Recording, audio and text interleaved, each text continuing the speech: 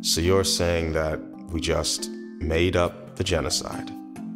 He's just saying that it's not like the Holocaust. It's not like, oh, a tree falls in a forest, does it make a sound? The tree fell. We know it fell.